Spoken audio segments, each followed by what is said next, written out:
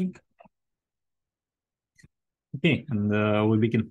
Uh, hello again uh, to all of you and uh, to everyone who watches in the recording.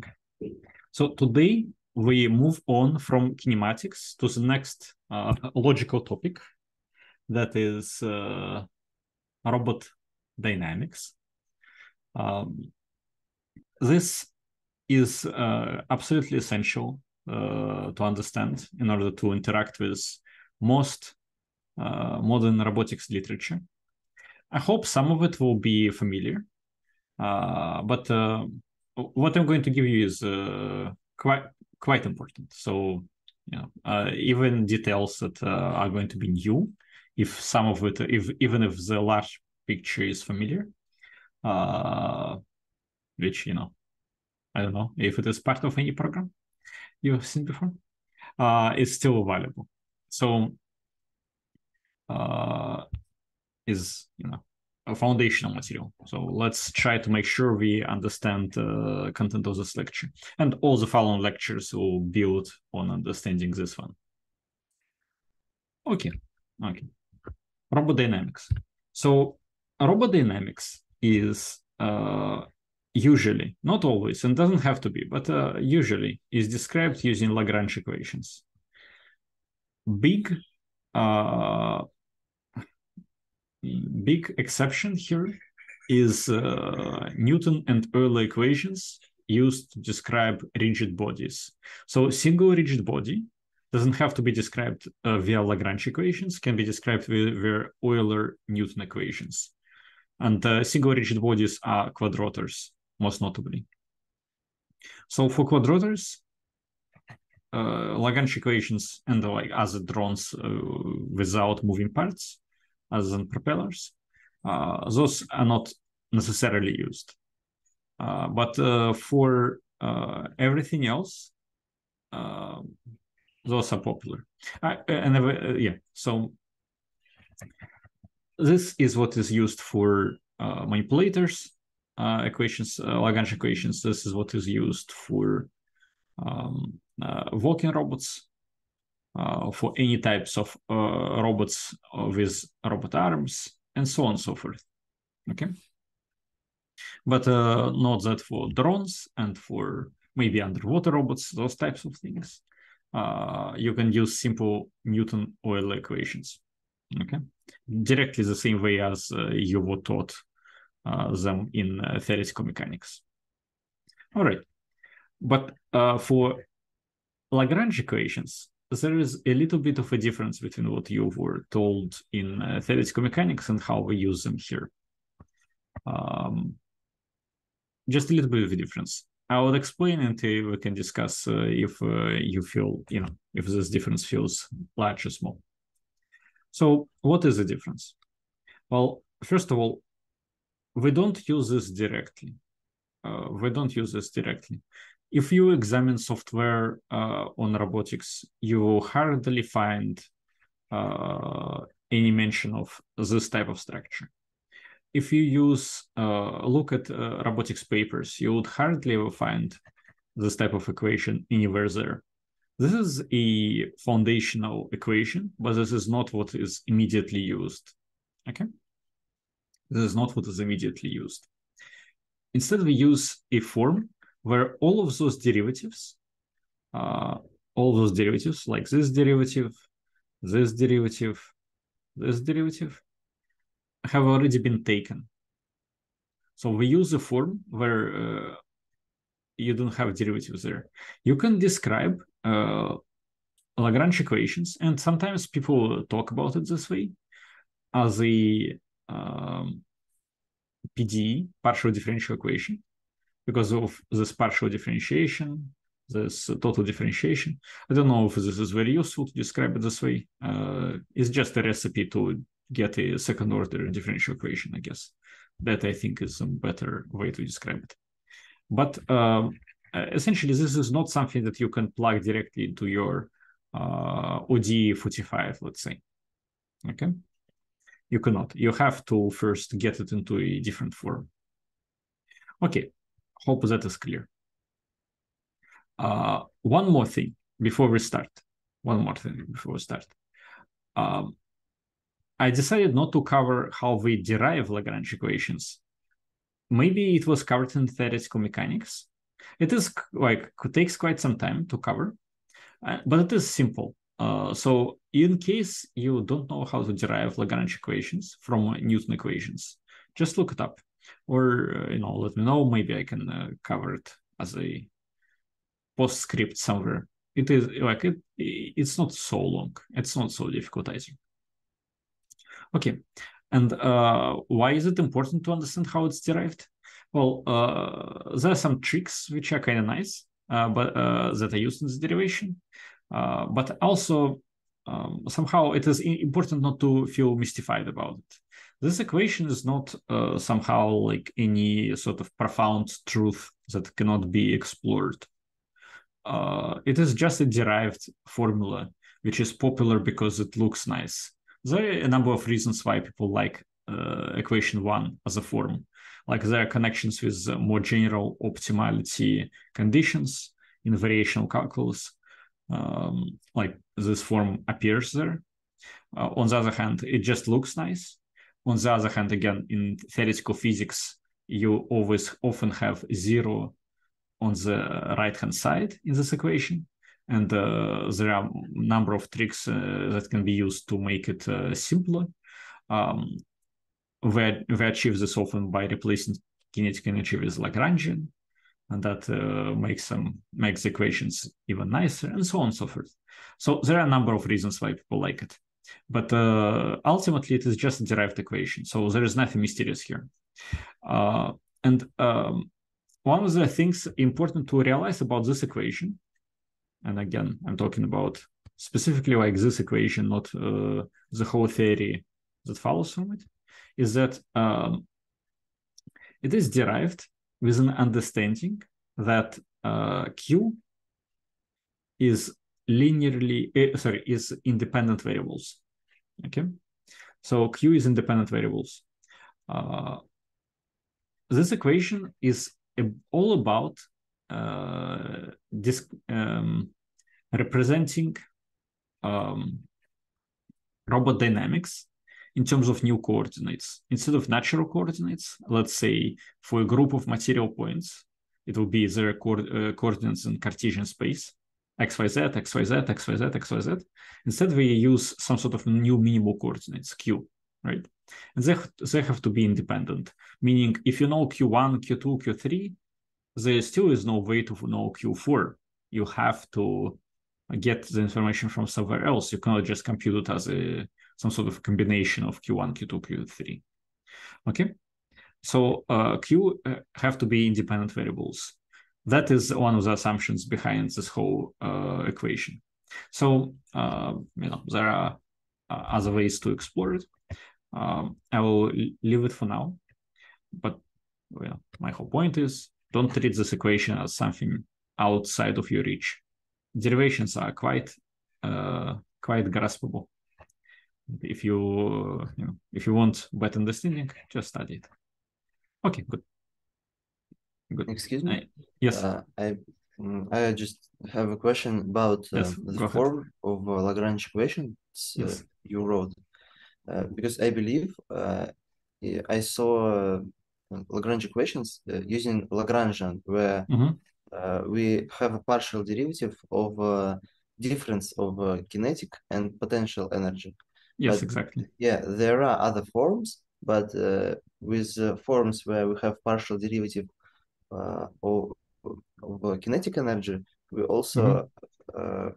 I believe, we miss potential energy in this equation. Mm-hmm. Yeah, great. Uh, so uh, let me instantly comment on that. Um, normal form, uh, like not normal, but like one of the typical forms of Lagrange equations would have here and here indeed Lagrangian, which is the kinetic energy minus potential energy. That's how Lagrangian is defined. So let me write it here. Lagrangian is uh, T minus P, uh, kinetic minus potential. Okay, good.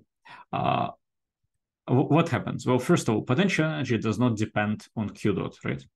So uh, potential energy usually depends on Q, but not on Q dot. Uh, you can imagine, for example, um, you know, potential energy depending on height or how high you are above the ground. That would be gravitational force potential energy.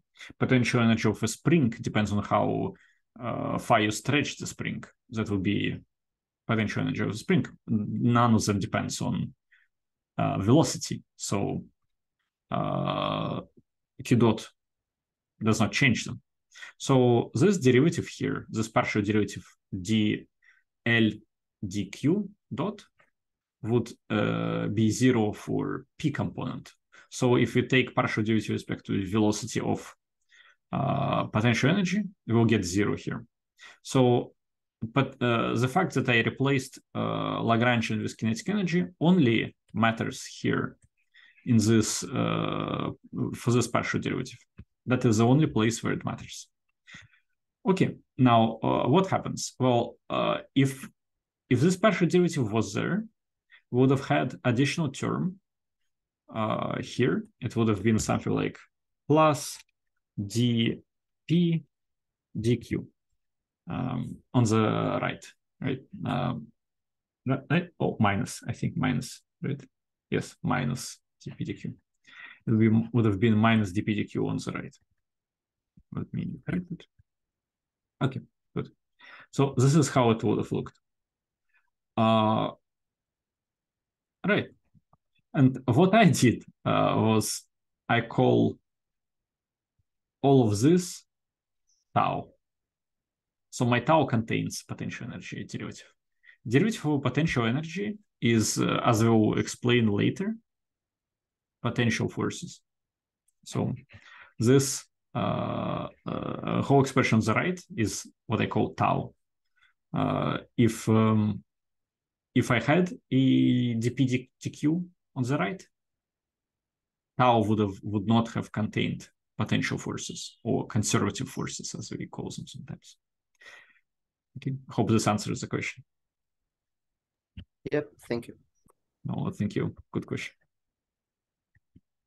Okay, so now uh, I'll move forward. Lagrange equation bears discussion for like a whole lecture. So, but I'll move forward. So uh, let us just try to start uh, with uh, you know understanding. First of all, what is kinetic energy? Well, for point mass, it is given as half of a mass times uh, velocity squared and uh, we sum it over all point masses. Uh, velocity squared for a body moving in space is uh, dot product of a velocity with itself. Velocity is a vector, a vector uh, entity. So to square it, you dot product it with itself. Remember that uh, dot product of two vectors can be written as vector transposed times vector. So this is just a dot product. I uh, hope this is uh, familiar. Okay, okay. Now, for rigid bodies, indeed they have the same component, which refers to the velocity of the center of mass. So here we have for rigid body, kinetic energy consists of a sum of the one half mass times dot product of velocities itself, so velocity squared. And here we refer to the velocity of the center of mass of the body. But that's not enough. Rigid bodies also have a rotational component, rotational component. And the rotational component is, uh, the kinetic energy of it is one half of angular velocity times inertia times angular velocity. So you could say here that um, you can say here that this is uh, some uh, somehow like angular velocity dot product with inertia times uh, angular velocity, something like if you want to. You can say it is a weighted dot dot product, whatever. Is uh, doesn't really matter. Uh, he, here, if you, you know, uh, they they look slightly different those two equations, but that is because m here is a scalar and i here is not a scalar. That is a big difference. You could have made the mass matrix diagonal with masses on all uh, diagonals, uh, but uh, does it does it mean anything? I don't know. So what we have here is a complete form of of uh, kinetic energy. Just important to see that here we have a vector times a matrix times a vector. So, mm, is important to keep in mind. What is inertia, by the way, is a symmetric symmetric matrix uh, with uh, principal components of inertia on the main diagonal and uh, all kinds of skew components of inertia on off the diagonal. Uh. The way how to compute inertia, inertia matrix, I think, should be studied in either theoretical mechanics or mechanics of machines or something like this. Uh, basically, there is this. Uh, it, it, you can find integral like integrals uh, describing how it's studied, as in, like let's say, first element in the first row, first column will be integral of a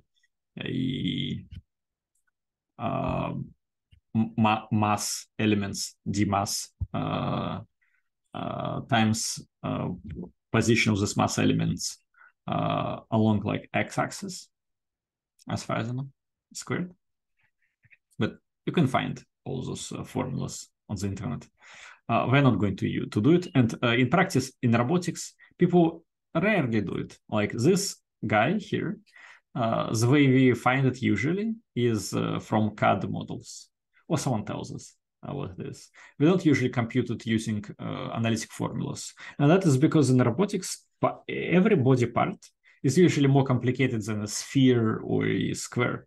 Usually, they are quite complex uh, parts of the robots.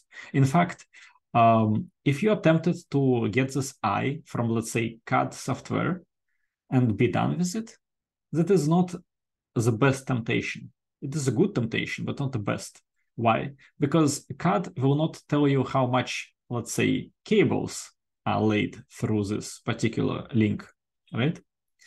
Or other, uh, you know, details like the weight of the motor is not going to be included. And you have to include everything there. You cannot include just main main part. You have to include everything. That is why uh, usually we assume that something about this inertia we don't understand. So inertia is often understood as unknown parameter. Okay. Every link we often say has, I believe, 10 unknown parameters. Uh, inertia contains six unknown parameters. Okay, Okay, okay, okay. Now, uh, uh, I hope I give given you just some glimpse of what's going on. Now we can move on. Do you have questions about kinetic energy? No? Then we will move on. All right. Uh, so we have here description of how center of mass uh, velocity can be computed. So velocity is the center of mass, same as velocity of any type of point, can be computed via chain rule. We find a partial derivative of r with respect to q and times q dot, right? That is how we do it. So this gives us a angular velocity Jacobian times q, q dot, right? Very familiar stuff. Okay. Q dot in this case is generalized velocities. Please note this, this lecture, we're talking about generalized velocities. We're not talking about joint velocities. Uh, that is not something that uh, uh, you know I find in a lot of textbooks, but I haven't read like that many varied textbooks in English specifically. Right, uh, but um, I think I can give you an idea of um, what's the difference between generalized velocities and positions, no, you know, coordinates, and joint velocities and coordinates. The difference is joint refers to joint joints, like actual joints. okay, so let's say your robot is KUKA has six joints. So it would have six joint positions, six joint velocities, okay, six joint coordinates. has to do with joints. Let's say you have a, a robot with a spherical joint, spherical joint, uh, like shoulder joint, okay, spherical joint, uh, and two pin joints, like a one pin joint, another pin joint, okay. Let's imagine the situation, like a human arm. It would have five joint coordinates. So three in the shoulder, one in the joint, one on the joint, right? Why three in the shoulder? Because you have to have three coordinates to describe how the uh, the shoulder is oriented. That's why. Okay, so sounds so far so good, right? So far clear. Uh, in this case, the number of generalized coordinates you would have is also five. It's exactly the same, no difference whatsoever. Now, imagine now you have a robot dog. Uh, here is a dog uh, fantastic looking. So it would have, let's say, um, two joints here, one joint here. So each leg has three joint coordinates. It has four legs, so it would have total three times four, uh, three times four, 12 joint uh, coordinates. Okay, but that is not all coordinates the robot has. It also has a rigid body. Okay, it has this rigid body, and this rigid body would be uh, would have its own separate uh, would have its own separate uh, coordinates. How many coordinates would the rigid body have? Well, as any rigid body, it will be described by six independent coordinates, three translations, three rotations. Okay. So far, we're discussing a robot uh, floating in space. We don't describe how interaction with the ground changes its coordinates. So it will have six independent coordinates. So total number of coordinates is 18. But out of those 18, only 12 are joint coordinates. These are rigid body coordinates, single rigid body coordinates, uh, whatever. We can discuss, uh, sometimes we call them floating base coordinates. Uh, we, can discuss them in very, very variety of terms. But those six are not joint coordinates. In literature, that's how we usually talk about it. Those 12 are joint coordinates. But together, they form generalized coordinates, generalized coordinates. This uh, macabre, or better said, I know, Byzantine uh, system of notation is surviving. I think mostly because the only active area of application where generalized coordinates are not equal to joint coordinates are various uh, walking robots and uh, similar in nature machines, like mobile robots with arms, for example. Right? So you have a robot with wheels, and it has uh, two mm, robot arms attached.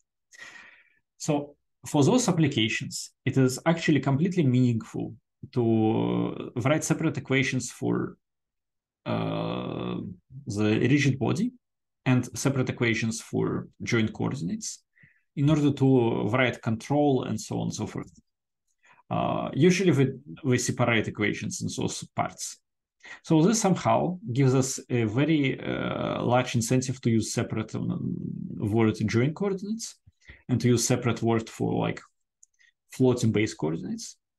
And then when we um, talk Lagrangian mechanics, we say generalized coordinates. So you can kind of see uh, what, what we arrive at is this um, situation where two terms coexist because in some particular field, both of them are useful. Uh, but Lagrangian uh, terminology is general, generalized. And to be generalized, they have to describe completely position of the robot. So you cannot say that 12 coordinates for robot dog is generalized coordinates. Not true at all.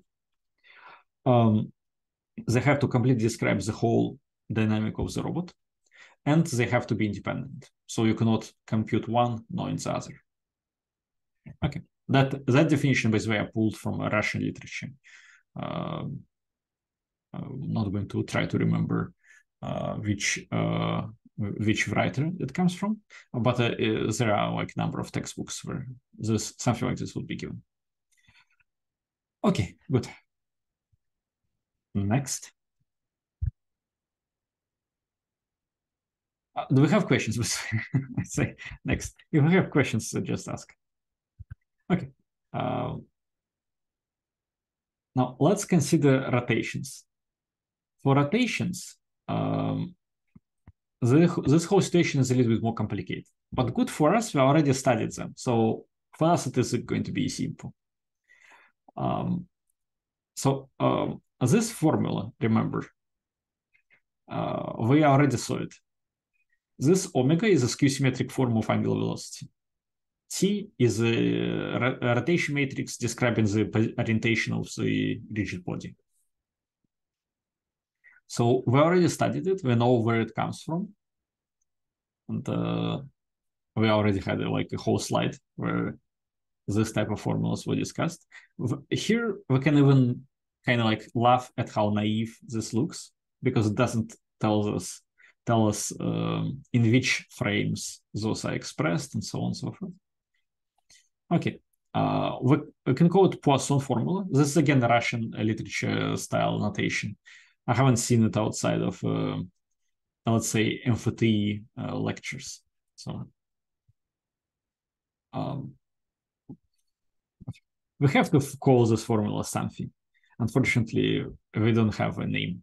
I hope they're not going to call it Euler formula or something. Uh, we need the original name for this thing. Even though it is tempting to call it Euler formula because you can clearly derive it from uh, Euler style arguments. Okay, so we already saw it. And what is T? T is dt dq times q dot. You can say it, right? Uh, this is a little bit wild here and I'm mostly showing it to you so later you won't be as shocked. So uh, I, here I'm doing uh, something like chain rule on a matrix. And what I mean is you take a derivative, partial derivative of t, it, it becomes three-dimensional, becomes a three-dimensional tensor. dt dq is a 3 by 3 by n tensor. And then you multiply it by q dot along the third dimension along the last dimension. Good? Good. So q dot multiplied along the last dimension. Great. And uh, that gives us back 3 by 3 t dot. So, you know, super. So what do we get from uh, from this? Well, uh, this can be computed easily enough, I guess. And this has uh, this structure. You remember, it is uh, you know, last component, first component with minus signs, y component here. Okay, good. So in order to compute velocity, angular velocity vector, we can just uh, take this, uh, we can just take this guy here, that we computed here, and uh, put its elements to good use. So this element goes here, this element goes here, this element goes here with appropriate minus signs. That's how we can compute it in software, let's say. Good, good, good, good. So angle velocity can be computed this way. Okay. Now, uh, yeah, this is the voluntary homework. If you want to, you can try. Uh, I think we already proved it sufficiently, maybe on the last lectures, but uh, you can try. It sounds uh, like a challenge, a little bit of a challenge. All right. Anyway, uh, now what we can do is we can find angle velocity Jacobian uh, as we did last time, and what we have is uh, this guy, d omega d q dot. Notice not dr dq, d omega dq dot. Uh, quite interesting. Uh, uh, by the way, if you're wondering if it is possible to find a regular Jacobian as dv dq dot, it is possible and you can prove it. And this will be one of the steps at deriving Lagrange equations, proving that Jacobian is both dr dq and dv dq dot, as far as I remember. Uh, but uh, for angle velocity, it is just d omega dq dot. Okay. And uh, omega is linear with respect to q dot. So, so we uh, obtain this familiar expression omega equals to uh, angular velocity Jacobian times q dot. So this, so far, last two slides was, was familiar because we did something similar before. Even last three slides, I guess, was familiar. Now let's put it to good use and uh, start doing something about Lagrange equations. So first of all, Lagrange equations, uh, let me quickly, before we do it, let me just quickly uh, show you them back. So notice r dot, r dot, omega, omega. We need to replace those. Now we know what those are. We need to replace it. So what we get is here linear velocity Jacobian times q dot, linear velocity Jacobian times q dot transposed, angular velocity Jacobian times q dot, angular velocity Jacobian times q dot transposed. That is uh, what we get when we substitute. Okay. Now, now uh, what we want is somehow to write t as a quadratic form with respect to q dot. We want to write t as a quadratic form with respect to q dot. How do we do it? Well, uh, notice that this is already a quadratic form with respect to q dot. So this is a matrix of a quadratic form. This is a matrix of a quadratic form with respect to q dot. Do you remember what quadratic forms are? Uh, tell me someone. Uh, did you study quadratic forms? Linear algebra? Mm, yep. Okay, good. So th those are quadratic forms, uh, matrices. So all we need to do is to just sum them. And uh, uh, we do it this way. We say that, let's say H is sum of this and plus sum of this. And then the kinetic energy will be given as one half of q dot times h times q dot. So notice the way h appears, and h is going to be our friend for the rest of the course. The way h appears is just by looking at the kinetic energy and recognizing that we can rewrite it in this form. Okay. And why? Because it is a kinetic energy is a quadratic form. Here is, there is a caveat. We can find systems where kinetic energy will be uh, not quadratic, but quadratic and linear. So it would have a linear component. That is possible, but uh, H here is a full quadratic component of kinetic energy. And I don't think you would encounter in practice those systems. But when you do, good to know that kinetic energy doesn't have to be quadratic. And if your kinetic energy happens to be not quadratic, go ahead and think about uh, what to do. You can rederive all manipulator equations from the way I did uh, so far. Um, and the way I will do towards the end of the lecture and uh, write your own dynamics equations. It is important to work with real stuff, not with formulas. So if your kinetic energy happens to be not in this, uh, you know, nice form, if your kinetic energy does not abide this rule, rederive everything after that for your specific kinetic energy is not difficult. And that is kind of like the whole point of having education, right? You you can fix um, something that textbook missed. Okay, good. Uh, let's move on and see how we can use this guy. So first of all, we can find derivatives of kinetic energy. Remember that it is a scalar, so transpose of kinetic energy is equals to itself. So transpose of H would be equal to itself. We could have uh, shown it easier just by looking at the uh, form of H. It is indeed symmetric, but there are so many ways to prove it. Okay. By the way, this I think maybe is even not the best argument to make. this I think is not the best argument to make because you can indeed have a um, non-symmetric uh, quadratic uh, form matrix. It is just that you can always replace it with a symmetric an analog that will give you the same quadratic form. So this is not the best argument to make.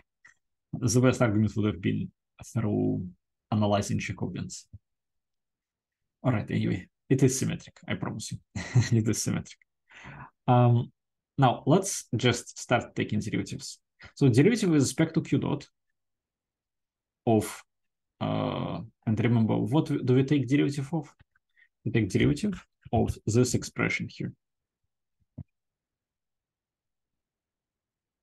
Okay.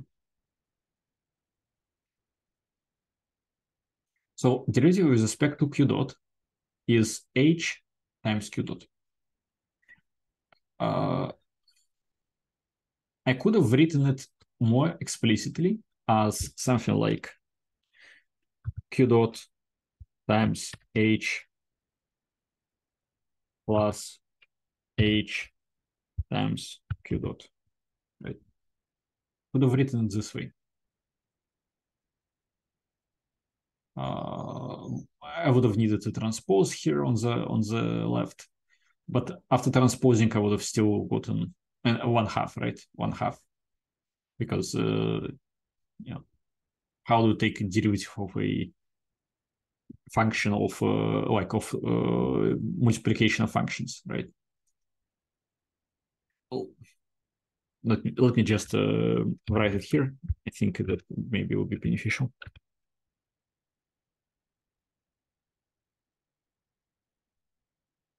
Please. One second. So how do we take a derivative of this function? First, we take a derivative with respect to this variable. Second, we take a derivative with respect to this variable, right? That's how you get, um, let me put it here, one half over this whole expression. So uh, first you get uh, like h and q, then you have q and h. But uh, when you take derivative with respect to this variable, you need to remember that it is transposed. So this whole thing here will be transposed and it will be the same as this guy because h is symmetric. So that is kind of like the whole uh, rigmarole you have to go through to prove uh, 11. Okay. But if it is clear that 11 is HQ, uh, great. Okay, now uh, what is dt dq? Well, dt dq is like, you know, this was already a little bit uh, difficult. This, much worse, much worse, uh, much worse. Uh, how do we, what, what is it even? Well, first of all, q dot does not depend on q. Also, you will find uh, sometimes uh, wild expressions where you have q dot equals to like is a function of q. Uh, indeed, the, it is possible to do physics while considering that q dot depends on q. uh, it's uh, it's possible. Like uh, people do all kinds of wild st- wild stuff. Uh, but uh, here in this uh, case, q dot does not depend on q. So you don't have to um, consider like multiplication of a you know um, product of a, of two functions it is just a, uh, pro, a, derivative of h h is only thing that depends on q but H is a matrix. So what you have here is something uh, strange looking. So one temptation that I think a lot of you can have uh, if you uh, have been kind of like inhaling chain rule uh, for a long time is to say that dhdq times q dot is h dot. I think that is a natural, natural wish to say so. I think it is very tempting to say that this guy here is h dot. It is not. it's very important to realize it is not h dot. Uh, it is not h dot. Can someone prove to me why it is not h dot?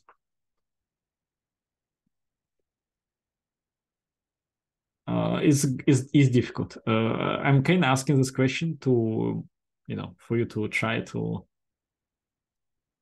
try to see if you can find the reason about it. But this is not true.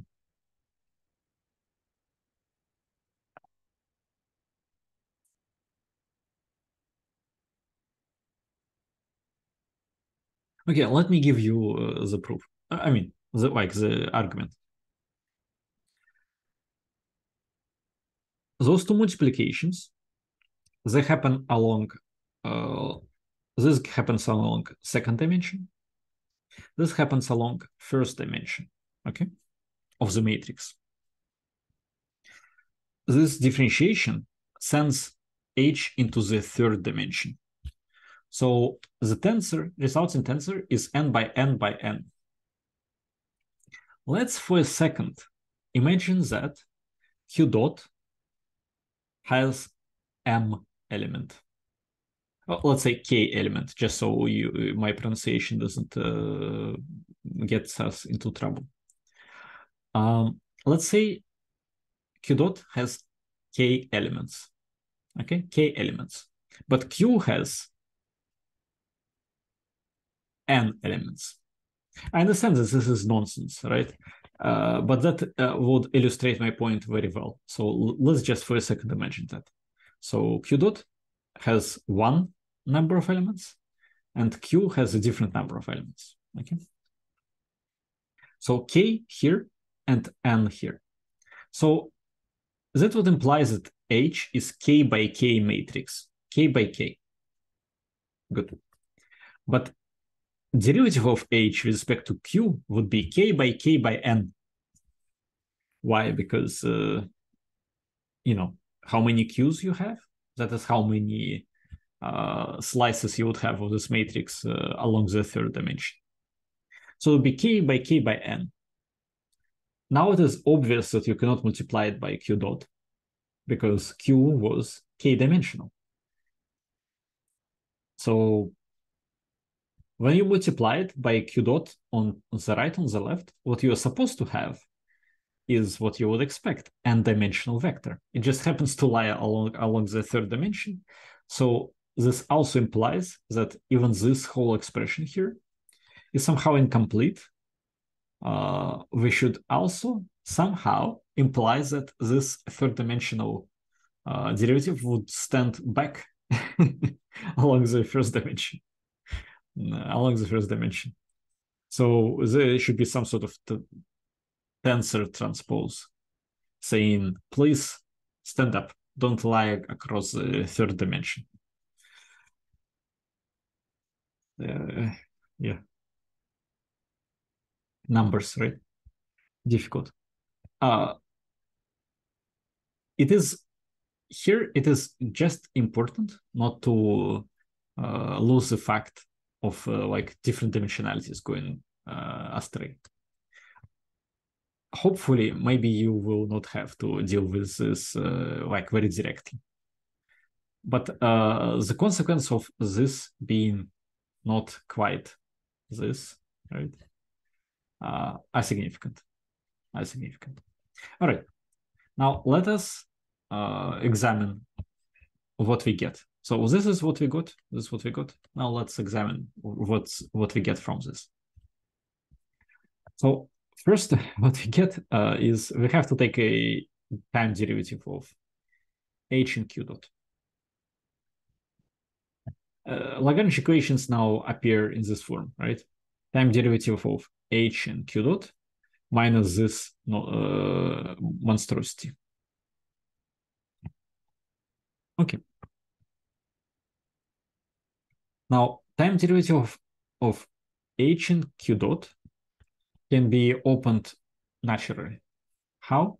Well, uh, what is what is derivative of q uh, h times q dot? Well, it is derivative of a product. So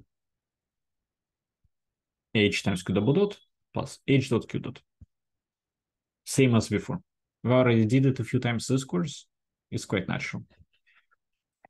Okay, this monstrosity stays the same. So this stays the same. Okay. Now, this monstrosity happens to be linear with respect to with respect to uh, joint velocities. If you allow to introduce a function uh, it's not linear. Of course it's not linear with respect to joint velocities. It's completely not. It is um, best case quadratic. Uh, usually not even that. Uh, uh i mean hmm, maybe it is usually quadratic i cannot but uh, usually c is a function of uh, generalized velocities, and we can find such c that we would get c times q dot equals to this whole thing. This whole thing. Not surprising. I mean, we have here q dot, we have here q dot. Uh, somehow it feels natural that we would have such a matrix h dot here and such a matrix uh, one half q dot times this tensor here that would get some sort of a c. Okay.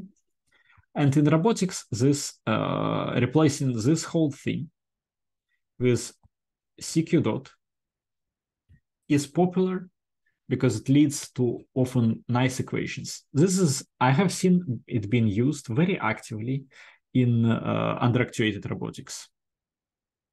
In general, I guess the legacy of the field uh, requires you to understand how CQ dot is being computed.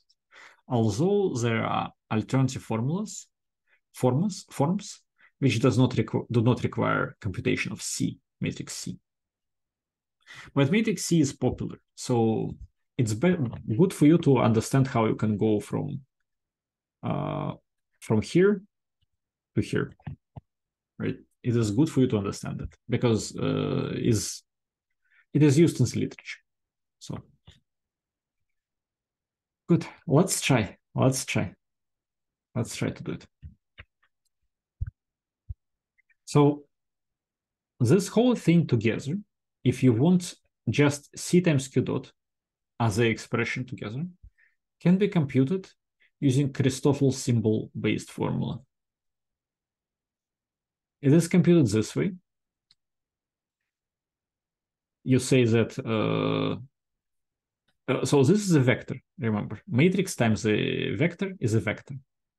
So each element of this vector is a sum over two indices. So all possible j and k from 1 to n, uh, giving here q dot k, q dot j. And here you have Christoffel symbol is a tensor. Uh,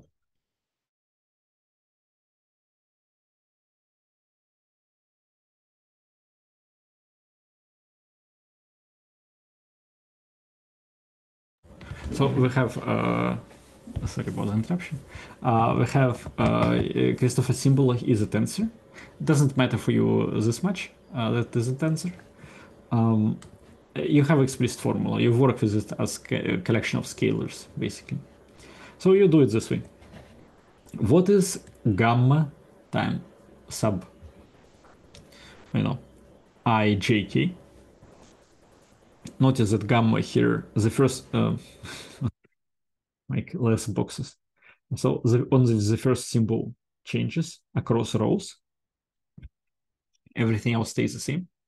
So uh, what is gamma? Well, gamma is just this lovely uh, expression.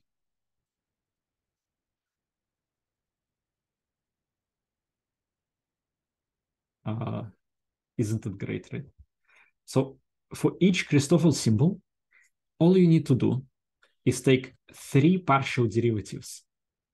Three partial derivatives, right? Three. and uh, of what? Of elements of H. Elements of H. And do you remember what elements of H are? Remember when we uh, how we found H? H was the sum of all Jacobians, angular velocity, linear velocity. So H is quite complicated matrix. It's not not easy matrix. It's complex. And uh, we take three partial derivatives to find one Christoffel symbol, and we'll have to have n squared of those symbols to find one element of uh, C q dot. Ultimately, this guy here is the most complicated part of Lagrange equations. Everything else is much simpler. This guy is the most complicated part.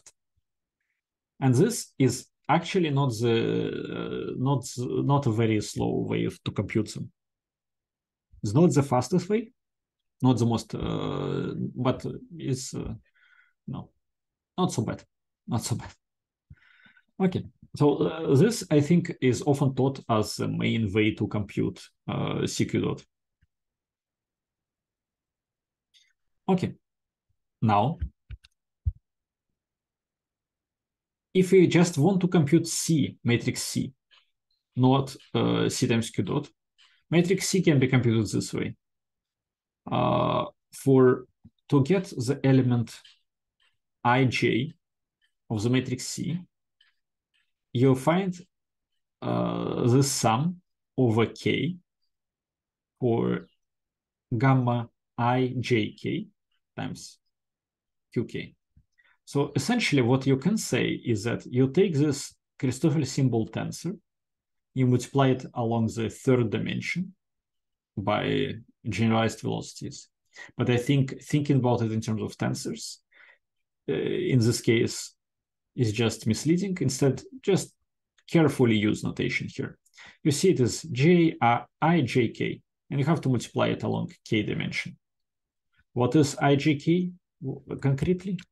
Well, here's explained what they are concretely. IJK it means uh, K would be here, here, and here. So here it would be what you take derivative with respect to. Here it would be uh, the number of the column. Here would be the number of the row. That's it. That's it. So that's how that's how you work with Christoffel symbols questions so far?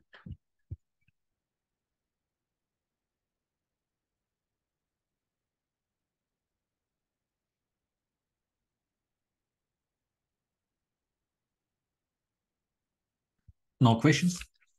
Okay.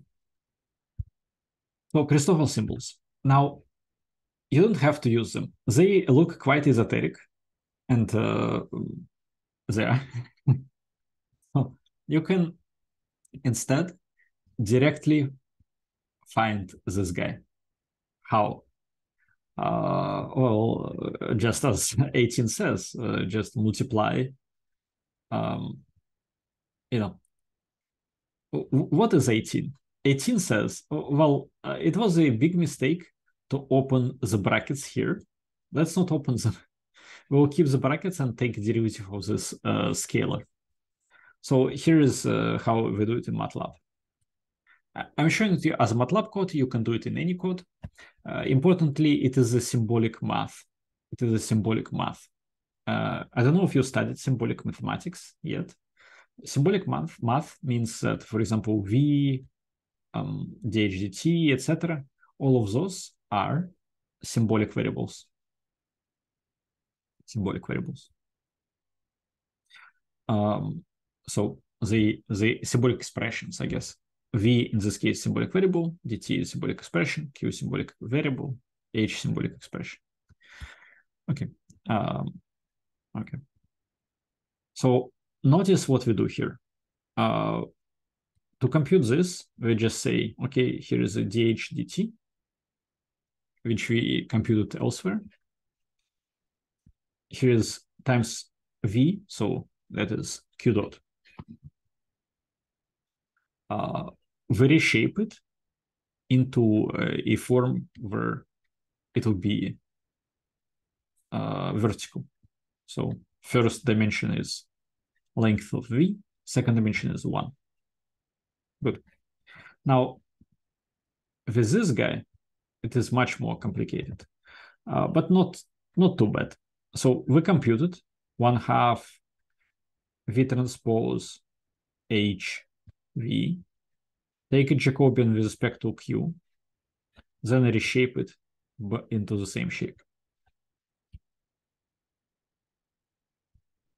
Complicated, but still, uh, you know, decent. And that is how you can find uh, this expression without uh, Christoffel symbols. This is one line. That is nice. Christoffel symbols would have had like cycle for and cycle for and cycle for. Uh, but this is slow. This is slow. This is slow because uh, this expression here, this Jacobian here, would be very difficult. It is a very large expression to compute. And for symbolic math, that is crucial. Uh, I'm not sure if you will be able to compute it for like a bipedal robot. Maybe you would, but it will be difficult. All right, next possibility. Uh, do we have questions about this one? All right, I think it's straightforward. So next one is a little bit crazy. Uh, so let me show you.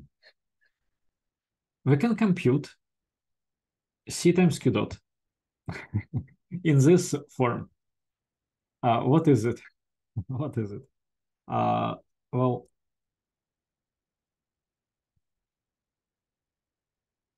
it is uh, vectorized H. So H vectorized means H was a matrix. It was kind of, let me show you, I guess, in, in picture. Imagine H was kind of like this. One column, another column, another column, another column, right? What it becomes, what becomes is um, well, let me, I guess, show it like this. You take the first column, you put it um, kind of like this, right? Then you take the second column, you put it below it, right? Then you take the third column, you put it below it, you take the first column, you put it below it. So that's how you stack the columns uh, one uh, under another. Okay. The first column will be on top. Say, uh, next one will be uh, below it, next below it, etc. So this is how vectorization works. This is how vectorization works. So here, uh, vec h dq gives us a relatively straightforward thing. It is just a Jacobian of uh, n squared vector with respect to n elements. So it is a very uh, tall matrix. Okay, good. Now, next is we multiply it by q dot times q dot, except it's not times, it is a Kronecker product. Kronecker product. Uh, is um, I'm a little bit afraid to uh, miss some detail. It's one with each, something like this. One with each. Uh, right? Is it right? Is it not right? Let me let me think would be right, would not be right. One is. I think what we're missing here is a transpose. Uh, as a suspect because uh, here we would have we, we need to have a transpose here. I think. Then I think it would make sense. Or this guy has to be somehow maybe on the left here. Right? Yeah, see here is a uh, we have a transpose here. So interesting, interesting, interesting. Yep. So this will be one with each. Uh, so it would be like Q1 times Q. So Q1 times the whole Q uh, stacked with Q2 times the whole Q stacked with Q3 times the whole Q. So this would also be n squared high vector.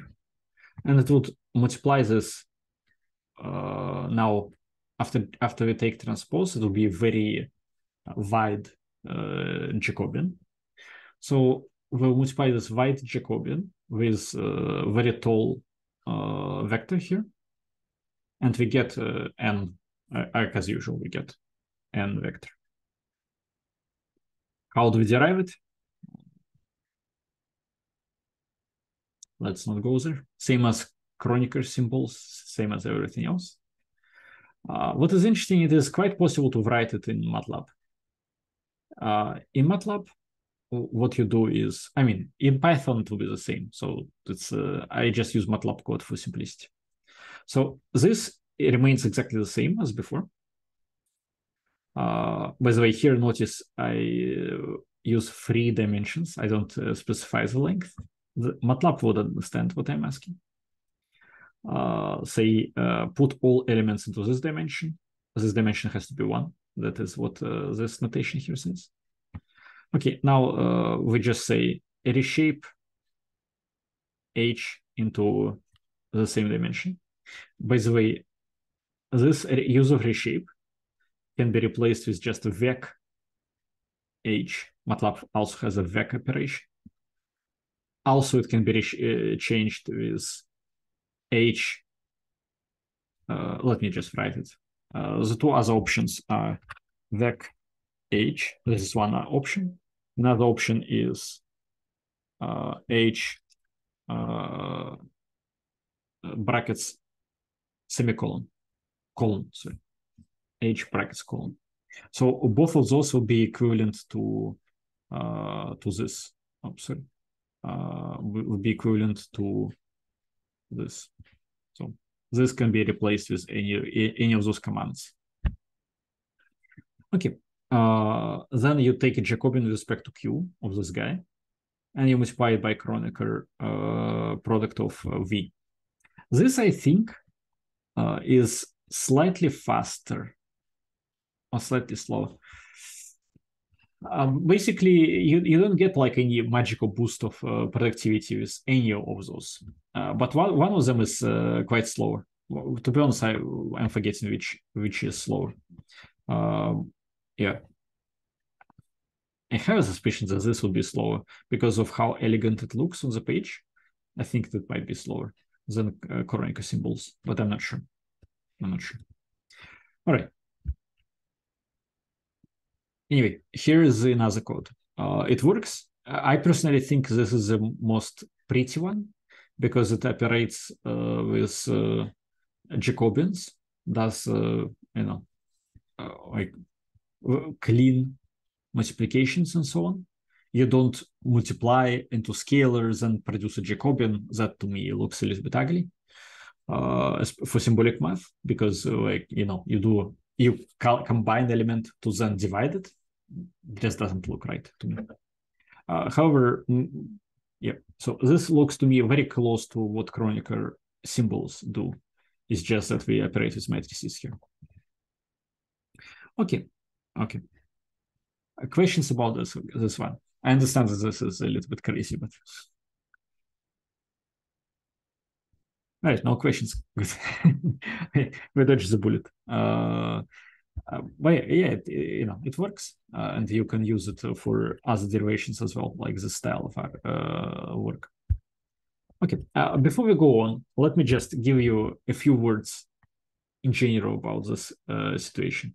So, in practice, you're not going to do most likely you're not going to do this or any other ones You're not going to do this. Uh, why? Because it is slow. It is slow. Um, why is it slow? Well, because uh, here you're not taking advantage of the underlying structure of your problem. Uh, there is even more structure than just what uh, what is written here. There are Jacobians inside those H's, and those Jacobians can be exploited. So uh, you can do this uh, the way I've written here. Uh, if you do it in, let's say, symbolic math uh, in MATLAB, what will often happen is that for bigger robots like KUKA or uh, dog robots or anthropomorphic robots, it will break down if you do it uh, not very carefully. Uh, it can work, but uh, sometimes uh, you just run into two big expressions. The solution for that is to use auto differentiation, something like Casadi. I don't know if you heard of Casadi. It is popular with uh, MPC, trajectory optimization, and so on. Uh, popular software package. Uh, so Casadi provides you out auto differentiation. That is alternative to symbolic math. Uh, in Python, symbolic math is even weaker than in MATLAB, as far as you know. So you would even faster have to um, resort to Casadi. What Casadi does, it cannot print you very nice equations like symbolic math in MATLAB does. Instead, it uh, allows you to generate C code uh, MATLAB, uh, symbolic expression in MATLAB and uh, in Python also, as far as I know, allow you to generate C code. In MATLAB for sure, in Python I don't know, didn't test. So you can generate C code either way, but C code generated with uh, with uh, Casadi has a advantage that you can generate it for very large problems it after a while becomes intractable intractable too. So it is not a magic bullet, cannot solve any problem, uh, but uh, it breaks much further down the road than MATLAB does. So uh, that is the way. But ultimately, all that we see here is not optimal. The optimal way is to uh, study geometry of the problem qu- quite deeply uh, and uh, provide expressions which require no differentiation at all. No differentiation at all. So uh, you can derive all of those things, including C matrix, without a single differentiation. That is impressive to say the least. And all of this is based on geometry of Jacobians and linkages. And uh, in order to achieve uh, the way I think about it is uh, it is kind of like doing auto differentiation by hand and uh, without actual auto differentiation. You just uh, geometrically find everything. Uh, the papers that describe those processes are so hard that uh, I know people with physical education in best universities of this country who have trouble understanding some part of those papers. So it is enormously complicated, unfortunately. Uh, you will be able to read them if you study them very hard, but uh, you don't have to. You don't have to study them very hard. What you can do instead is to just use software packages.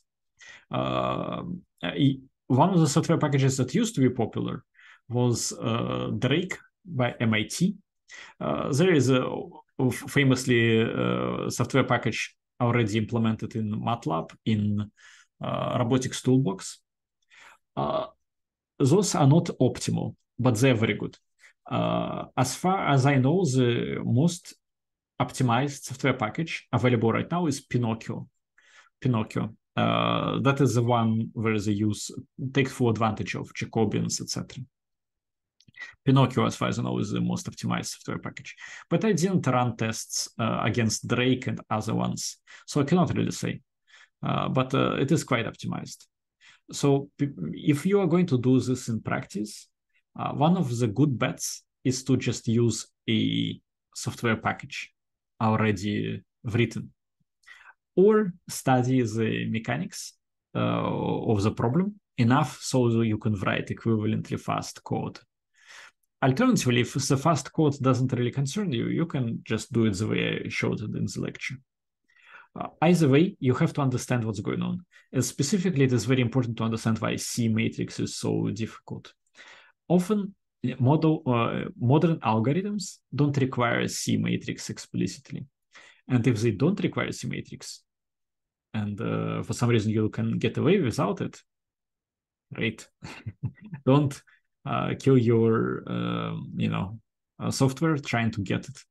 It is the most complicated part of uh, Lagrange equations. But on the other hand, uh, usually, usually, you, what you need is linearization. Linearization would require a symmetrics. All right, uh, or at least c times q dot. All right, that is all I have time to say about the c times q dot. Uh, we don't have a lot of time left, so let me just finish uh, what, what, we have. But I hope you kind of get the picture of uh, what's going on with Lagrange equations. Now, just to, to, remind you, c times q dot, that was um, that was this part of Lagrange equations. Well, this is Lagrange equations, and this part specifically is c times q dot.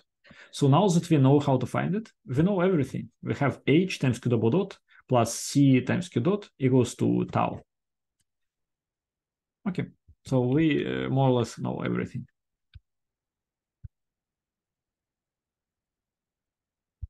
Okay, okay. Um, now, uh, what about external forces? Well, external forces uh, can be linked to tau. Tau is generalized forces, we call it. It can uh, they can be linked via Jacobian transposed. So you already saw uh, how velocities are linked to generalized velocities via Jacobian. So generalized velocities times Jacobian gives you Cartesian velocities, right? So not surprisingly, Cartesian forces or external forces, whatever, uh, are linked to generalized forces via Jacobian transposed. Okay, that's how it is. Uh, so R in this expression is a point of application on, of F. The same can be done with torques.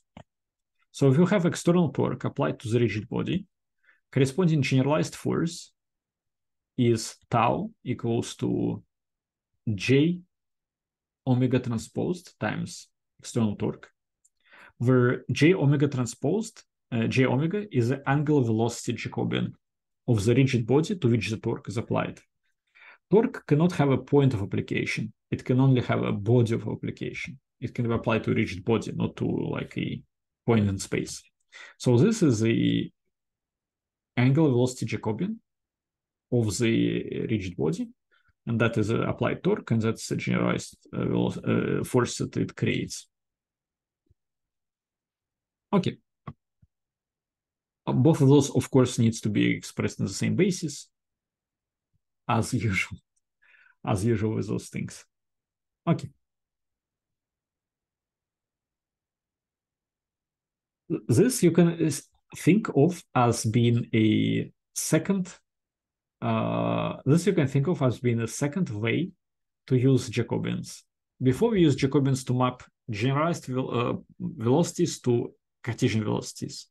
Now we use Jacobians to map forces to generalized forces. Um, that is quite important. That is quite important. The reason it is important is that uh, not only we can put external forces into Lagrange equations, we can also just find how external forces act on our robot. And alternatively, if we remember that uh, action equals reaction, uh, if our robot acts on something and receives external force F in exchange, uh, and if we wanted that, that means we apply external forces onto this something, right?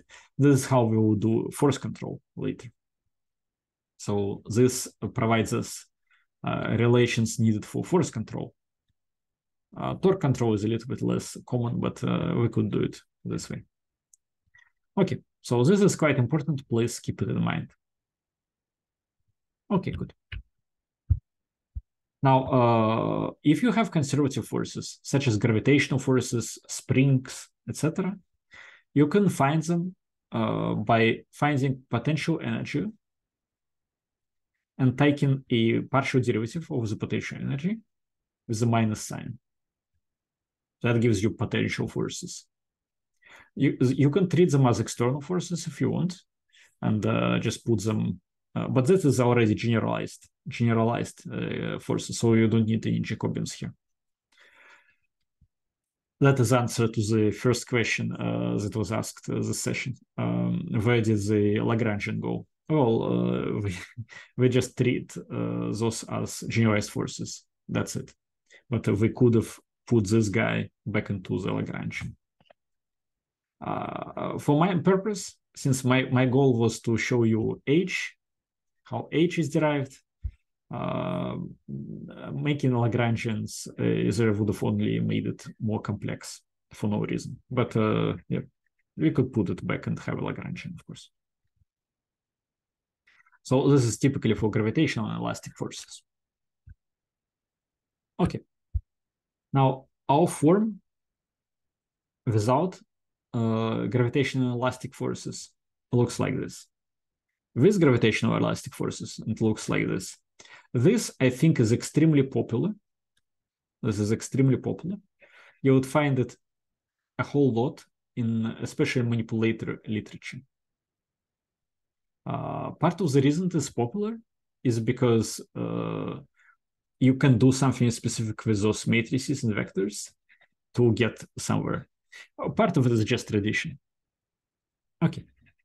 Well, this is popular. This you would find very often. Uh, often enough, also, you would combine those two elements.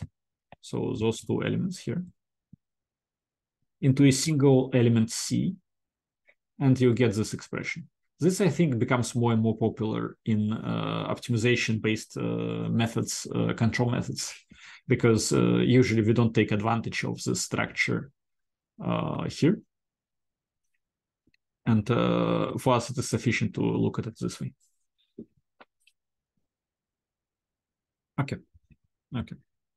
Even though, even though this form, specific this form, we'll use it next week uh, to uh, show you some of the properties of uh, control approaches. So uh, while this is uh, uh, not necessarily useful directly in practice, it is useful in derivations.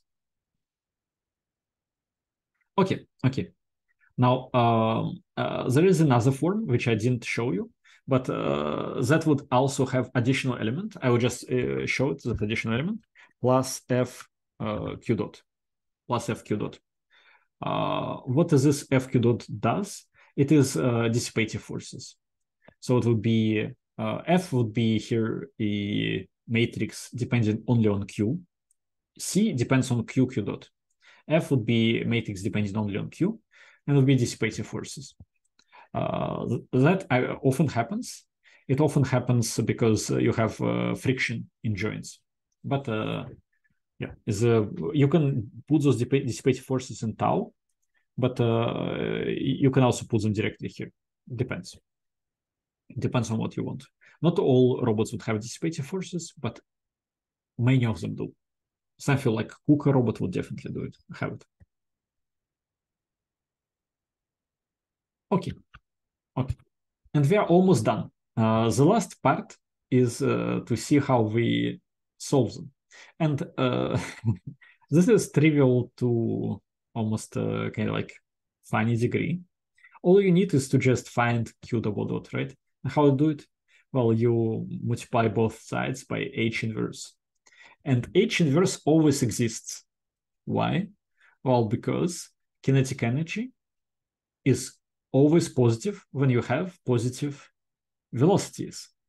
You can prove it another way. You can prove it uh, by considering uh, that uh, generalized coordinates are always uh, independent and so on. But um, physically, you can say yeah, kinetic energy is always positive when you have positive velocities. Therefore, it is full rank. H would have to be full rank, uh, positive definite matrix. Uh, energy is a positive mm, definite function. And you can always invert it. And here is exactly what we do. We invert it. That's it. Uh, that is always possible. Uh, we'll go back to it later, uh, sometime, when we will discuss how in physical systems it is always possible to find highest order derivative, because, you know, uh, the system will have to go somewhere. It is a physical system. It has a trajectory. Uh, it's not undetermined. So it's always possible to find one and only one highest order derivative. That is quite impor- important and that uh, allows us to do some interesting algebra. All right, all right. I think that is it. Yeah, this is it for today. Uh, here are some suggestions you can uh, just look uh, for self-study. Uh, uh, today we just looked at how to derive manipulator equations from uh, Lagrange equations. It was not easy, but was doable. Next time, we'll start to use them to do control not con linear controls that you maybe studied with me. I don't know, maybe with someone else. Uh, probably if all of you are bachelors from uh, from Innopolis, then you probably studied it with me, uh, most likely. Uh, is it true? Wait, is it true? Uh, is any yeah, studied with you? All of you studied it with me, right? Linear control. Is that yeah. true? Oh, okay, good. Uh, then you'll notice the, what I'm going to give you next lecture will be nothing like linear control, except you'll use Lyapunov functions that we studied, I think, and uh, that will be useful. But uh, next lecture we'll do linear control. Oh, sorry, non-linear control, control for rigid bodies like this. It will be based very heavily on these equations, uh, but on um, more specifically on these equations but uh, you'll see how different it is from linear control approach. Both are complementary. You have to know both to do robotics. So uh, here you would uh, start to fill out the other part of the puzzle. Some parts you already filled in linear control. Now you fill the other part of the puzzles. Okay, I think that is it. Uh, that's it for the, this lecture. If you have any questions. Or if not, uh, we'll see each other next week. And uh, if if something uh, here becomes, uh, you know, uh, give, gives you questions soon, don't uh, hesitate. You can write in the chat and such. All right. See you then. Thanks. Bye. Goodbye.